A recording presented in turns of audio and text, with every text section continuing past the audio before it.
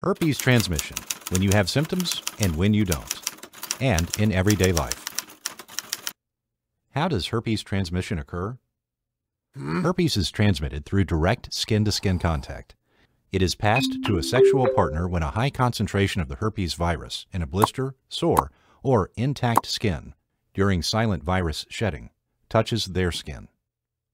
Once the herpes virus enters the body, it will travel to a local sensory nerve root and stay there until something triggers an outbreak, which may never happen. Herpes viruses prefer to enter the body through thin, moist, damaged skin or a mucosal surface. The parts of the body that best meet those criteria are the oral and genital areas. The thicker skin of the arms and torso is less penetrable and, therefore, less commonly affected. Symptomatic herpes transmission. Genital herpes is very contagious, especially when symptoms and signs are present. The chance of herpes transmission by an infected individual who is symptomatic may reach 20.1%. A herpes positive person is infectious before any skin lesions are visible, with the first systemic prodrome signs, that is, fatigue, fever, chills, with local symptoms of skin tingling, burning, and itch. But a herpes positive person is most infectious when they have visible signs, such as blisters filled with fluid. Even after resolution of the sores, when the crusting falls off, the person will still be contagious. The chance of transmission is higher during the first outbreak because the concentration of the virus in the sores is much greater. Asymptomatic herpes transmission. 75% of herpes transmission occur from an asymptomatic partner the chance of asymptomatic herpes transmission is around 10.2% over time versus 20.1% with symptoms. What is asymptomatic herpes condition? Once the herpes is contracted, it stays in the body in the latent or suppressed state. Unlike other viruses that the body immune system clears completely, herpes virus get only suppressed by the immune system. When the asymptomatic shedding happens. It is still unclear for researchers when exactly shedding occurs, but it is believed to be caused by the same triggers that bring an actual flare-up. Fatigue, illness, sun exposure, stress. How the shedding actually happens. Triggers activate the herpes virus, and it travels from the nerve ganglion, where it resides while suppressed, to the skin surface, but without causing skin symptoms. It is believed that skin flare-up can be prevented by a fast-acting immune system that is not weak enough for the skin eruption to happen. But transmission still might occur since herpes virus concentration on the skin is high. Commonality of the shedding. Herpes shedding. Believed to be more common first few years. As with actual flare-ups, the chance of silent shedding goes down over time. Believed to occur 4% of the days on average, that is 14.5 days out of the 365 days a year. Common shedding areas. The silent shedding occurs from the same area of the skin as where the symptomatic flare-up occurs. Female, hmm? vaginal, vulva, the entire perianal area.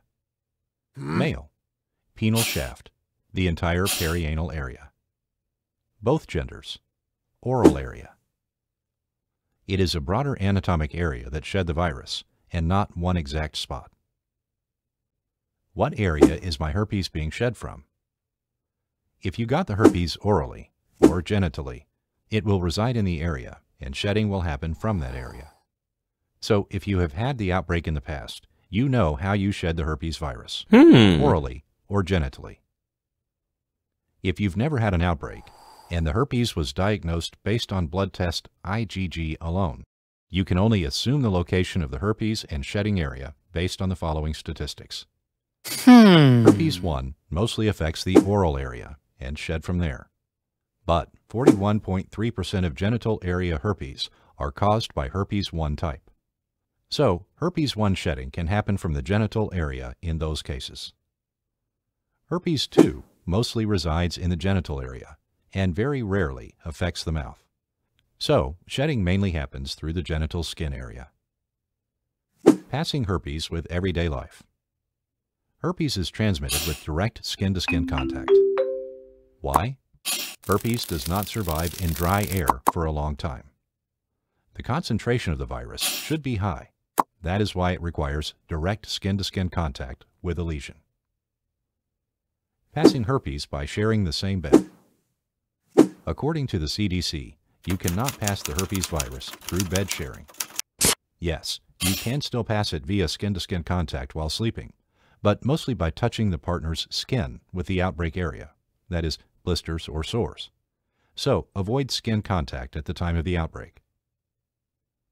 Passing herpes through toilet seats. It is extremely unlikely. According to the CDC, you cannot pass the infection via toilet seats, clothes, or towels. Let's look at the sequence and probability of the events that need to happen for hmm, hmm, transmission of hmm. herpes from a toilet seat to occur. 1. The herpes positive person used the seat and the area of the sore touched the toilet seat. 2. Shortly after, ideally within 15 minutes, another person sits on the same seat and the skin of that person comes into contact with exactly the same area the sore touched before. 3. The skin area that touches the toilet seat, ideally, should be a thin and moist skin area for herpes to invade the skin. But usually it is thigh skin that comes into contact with the toilet seat, and it is considered very thick for the herpes virus to penetrate. Passing herpes through common utensils. It is extremely unlikely, but let's separate it into two parts. With outbreak, very low chance of passing herpes through home utensils, even during outbreaks. Visible crusted and oozing sores and blisters. Avoid sharing towels, underwear, toothbrush, razors, and other objects at the time of an outbreak. No outbreak. There is no risk passing the herpes infection when sharing the utensils. The utensils may contain the contaminated fluids when asymptomatic. Passing herpes by touching people with hands. It might happen mainly at the time of the outbreak, Whoa. such as the sores and blisters phase, when you touch a person after touching your sores or blisters. Washing hands with soap after touching the area should prevent the transmission.